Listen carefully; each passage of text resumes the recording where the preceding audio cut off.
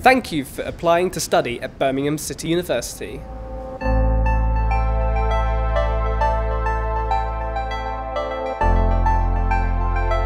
You should have by now received an invitation from the Faculty of Computing, Engineering and the Built Environment to attend an applicant taster day.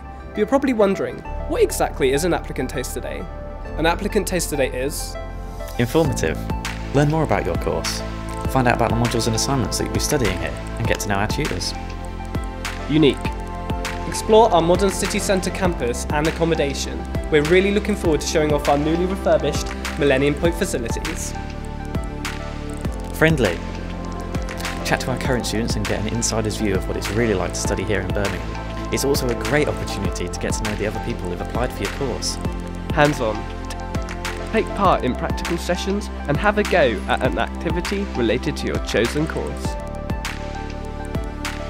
This is your opportunity to get the full BCU student experience and to see what we have to offer. So, what are you waiting for? Don't miss out. Register for an applicant taster day now and check your email for our invitation.